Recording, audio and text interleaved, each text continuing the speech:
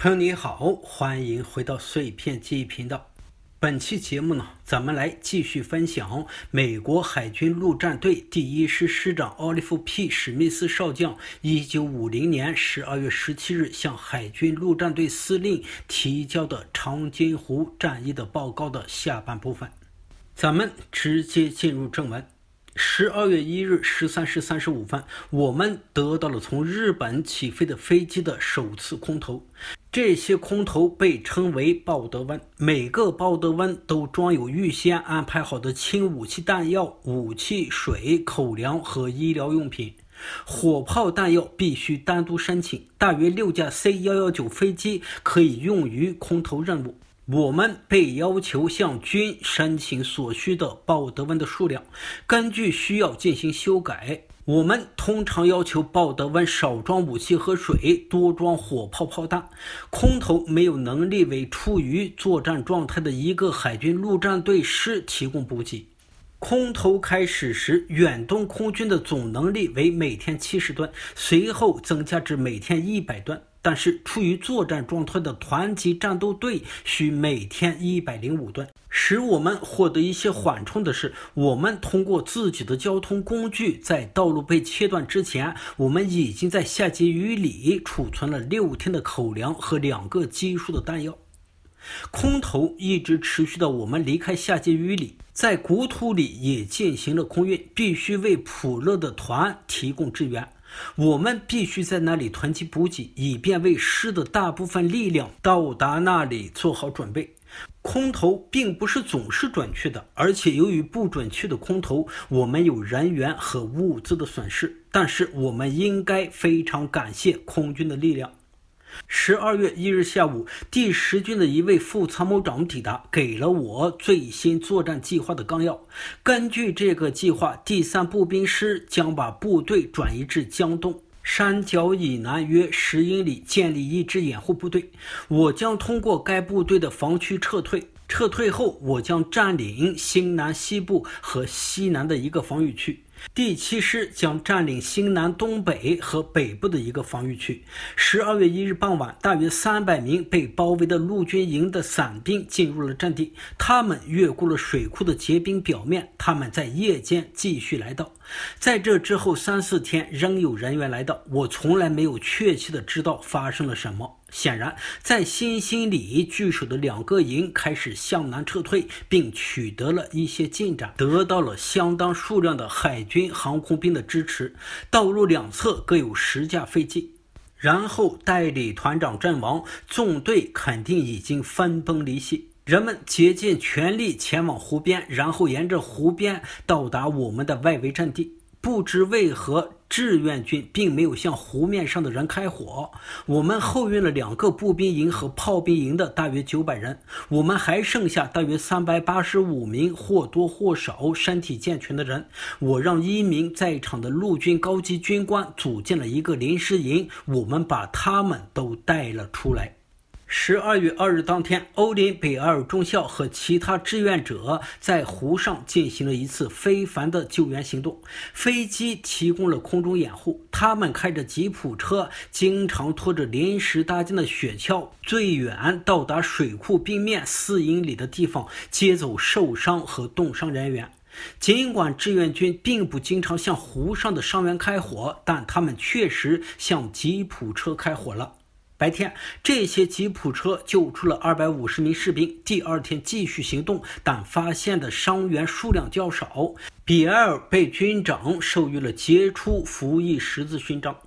十二月二日，第五和第七团在山上取得了一些进展，志愿军的抵抗依然顽强。十二月三日，利兹伯格到达了柳潭里和下碣隅里之间的山顶，然而他和我们之间仍然有敌人集结的部队，他的汽油也快用完了。在一个缓慢移动的车队中，发动机有相当多的空转。无论如何，在寒冷的天气里，发动机必须经常启动。所有这些都会消耗大量的汽油。应利兹伯格的要求，我们在卡车车队前精确地空投了汽油。不幸的是，他没有要求柴油。后来因为缺少柴油，导致了数门火炮的损失。十二月三日白天，利兹伯格继续在山上推进。十六时三十分，我们派出坦克与英国皇家海军突击队员来清理在营地附近路上的志愿军。十九时三十五分，第七海军陆战队团的先遣部队抵达外围防线，他们在夜间继续来到我们的防线。第五团在第七团之后跟进。在黑暗中，需要很长的时间才能让部队从掩护阵地进入道路。当他们距离下碣隅里只有几英里时，一些牵引幺五五毫米榴弹炮的拖车用完了柴油，这使车队停了下来。志愿军用迫击炮和自动武器开火，逼近车队。一些拖车被损坏，我们后来派出了一个带着柴油的纵队，但由于拖车失灵，并不是所有的炮都可以撤出。我们损失了十八门幺五五毫米榴弹炮中的十门和三十门幺零五毫米榴弹炮中的四门，这些炮被破坏，后来对他们进行了空袭。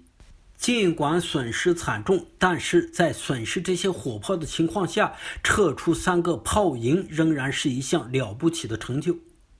第五和第七陆战团的最后一批成员，直到十二月四日中午左右才到达下碣隅里。这两个团重新加入，使我松了一口气。我认为作战的关键部分已经完成。即使只有两个兵力受损的团级战斗队，我也有信心可以一路打到古土里。我们会在那里获得额外的兵力，地形并不那么困难，它很适合空中支援。我们的准备炮火一直可以打到古土里。驻扎在下碣隅里的炮火可以打到古土里的中途，而位于古土里的普勒团长手下的炮兵也可以与我们的炮火相配合。在经历了残酷的作战之后，两个团已无法在十二月五日继续推进。此外，我想确保我们所有的伤亡人员都被后运，因此我的命令要求在十二月六日黎明时分撤往古土里。两个团级战斗队将发动进攻，由第七团级战斗队打头，并配属临时陆军营。利兹伯格在他的纵队中拥有自己的团级车队和师车队的第一部分。第五团级战斗队将在第七团级战斗队之后行动。除了配属第一团第三营之外，其他编成正常。雷蒙德·莫里的纵队里也有团级车队和师车队的第二部分，他将继续守卫防线，直至第七团级战斗队取得了足够的进展，以使他能够沿公路出动。车队里有一千多辆汽车，我们携带了两天的给养和两个基数的弹药，我们带出了能够能用的装备和包括帐篷和炉子的所有供给品。利兹伯格前进不到两英里就遇到了麻烦，使用最大规模的空中和火炮支援，直到十四时才能实现突破。奇怪的是，所有的阻拦都来自道路的东边。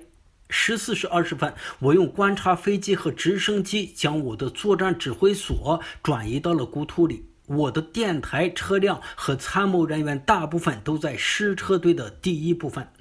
至十二月六日十八时，利兹伯格已经进行了一半的路程，进展顺利。然而，在夜间，志愿军在两个地方冲入了车队，发生了有混战和近距离战斗。我们损失了人员和车辆，不过损失车辆非常少。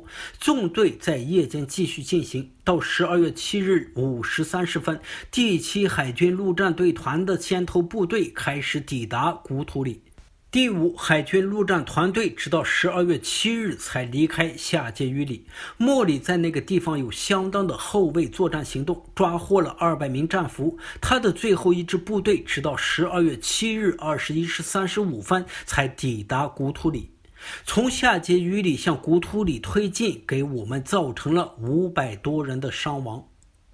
墓里只有一个可供观察飞机起降的简易跑道。第一航空联队长菲尔德·哈里斯同意在这场简易的跑道上降落他拥有三架 TBM 涡轮螺旋桨飞机。十二月七日当天，有二百名伤亡人员乘观察机和涡轮螺旋桨飞机后撤，然而仍有三百名伤亡人员需要撤离。飞行员表示，如果跑道增加四百英尺，C 四十七就有可能着陆。因此，在十二月七日至八日晚上，我们的工程师将跑道加长了四百英尺。不幸的是，该跑道经常受到敌人的火力攻击。十二月八日，C 四十七开始降落，我们很快完成了伤亡人员的撤离。胡图里位于山路以北约二英里处，从山的边缘，道路曲折地下降到大约十英里以外的占星里，在占星里有普勒的第一营。十二月七日，第十军将一个陆军营调往占星里，以换防第一团的第一营。理论上说，从占星里往南的道路是通的。我们下山的计划很简单，但是必须记住，敌人包围了古土里，因为他们已经在我们的纵队后面逼近了。第五和第七海军陆战队团将夺取至一半路程的高地。第一团第一营从真心里向北进攻，占领半山左右的制高点。海军陆战队第一团第三营已归建。第一团还配属了第三十一步兵团的一个营。第一团将在古土里守住外围阵地，直到车队走完后再跟进。由于增加了普勒的车队和陆军车辆，我们车辆的数量增至一千四百辆。一旦占领了制高点，我们就打算上车队下山。在车队经过后，步兵将离开高地，并沿着道路运动。车队中最后的车辆是坦克。我们意识到，如果 M 二十六在单向山路上熄火或者发生故障，将很难将其清除。在所有这些计划中，有一个严重的问题：志愿军在山下三分之一处炸毁了一座桥的部分，留下了二十四英尺长的缺口。他们选择攻击的地点是最佳的，给我们带来了严重的麻烦。在那个地方，四根大管子越过道路，将水输送至下方山谷中发电厂的涡轮机。一种混凝土变电站建在道路上坡一侧的管道之上。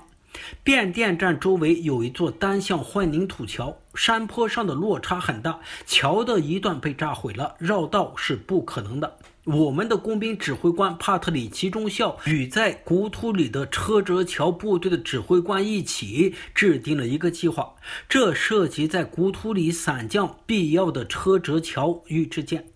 空军在十二月七日空投了车辙桥与支箭，作为预防措施，在山脚下的占星里也空投了车辙桥与支箭。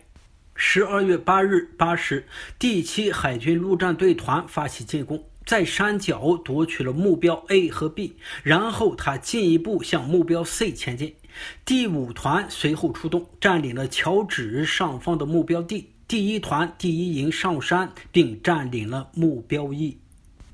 这一切行动并没有描述的那么容易，有延误和人员伤亡。桥梁材料直到十二月九日才到达桥址。这座桥于十六时十五分修复，预计到桥即将完工。卡车纵队已向前出发。当桥梁一修复，前车就准备过桥。不幸的是，另一个阻塞在山下形成，道路从索道下方经过。这个阻塞部分是由于敌人的火力造成，部分是由额外的清除行动造成的。这个阻塞直到十二月十日六时才解决。我们对坦克的担心成为了现实。正如我之前解释的那样，我们将他们放在车队的最后。当他们继续下山时，纵队尾部的第七辆坦克的刹车锁定了。坦克卡在了岸边，绕过坦克或将其推开的努力并没有结果。更复杂的是，志愿军用迫击炮和手榴弹开火，并与车队后面的难民群混在一起。坦克车组人员下了坦克，和在纵队尾部担负掩护任务的侦察连一起徒步作战，有人员伤亡。最后，坦克车组人员尽最大努力将七辆坦克破坏，然后下山。第二天早上，对那些坦克和我们费力修复的桥梁进行了空袭。十二月十日当天，试车队的第一部分和第二部分均通过了山脚下的真心里。中午后，车队的主要部分开始抵达咸兴。在车队抵达后，空卡车被派去接部队。十二月十一日十三时，师的最后一批人员离开了真心里。部第三师本应该保持真心里以南的道路畅通，但普乐团的车队在水洞区附近遭到伏击，他损失了几辆卡车，有一些人员伤亡。不过，普勒带着比他开始下山时更多的车辆到达他的集结地域。他捡起并拖走了一些在陆军卡车遭伏击现场找到的车辆。普勒的最后一批成员于十二月十一日二十一时抵达集结地域。至此，师从长津湖水库区的撤退行动完毕。我们后方梯队为每个团搭建了一百五十个带炉灶的帐篷，当部队到达时，为他们提供了热食。当普勒于十二月十一日离开集结区域时，第七海军陆战队正在丹尼尔·苏丹将军号 TAP 幺二零上船。第五海军陆战队团于十二月十二日出发，第一海军陆战队团于十二月十三日出发。全师的装载工作于十二月十四日午夜左右完成。护航队的最后一艘船于十二月十五日十时三十分起航。从我们开始向西进攻之日，十一月二十七日，至我们返回新南，十二月十一日，部队的伤亡情况如下：阵亡四百人，负伤二千二百六十五人，失踪九十人，战斗减员二千七百五十五人，非战斗减员一千三百九十五人，多数是冻伤，共减员四千一百五十人。这一数据并不完全，因为还有更多的冻伤者正在等待甄别。另据海军陆战队司令向海军部长的报告，十月二十六日至十二月十五日期间，共有四千四百一十八名海军陆战队队员伤亡，其中包括七百一十八人阵亡或者因重伤不治，三千五百零八人受伤，一百九十二人失踪。此外，还有七千三百一十三名非战斗减员，多数是冻伤。自十一月二十六日至十二月十一日，霍华德·约翰逊上校的第一医务营共治疗了七千三百五十名各类伤员，三个步兵团承受了伤亡的大部。抵达马山时，只有一半的实力，一些步兵连队只有编制人数的百分之二十五至百分之三十。我为陆战一师的战斗表现感到自豪，这是可以理解的。官兵们很出色，他们从山上下来，胡子拉碴，脚痛，体力透支，但他们的精神却很高昂。他们仍然是一个具有战斗力的师。好，以上是美国海军陆战队第一师师长奥利弗 ·P· 史密斯少校1950年12月17日向海军陆战队司令提交的长津湖战役的报告的全文。感谢您的耐心观看，这里是碎片记忆频道，咱们下期节目再会。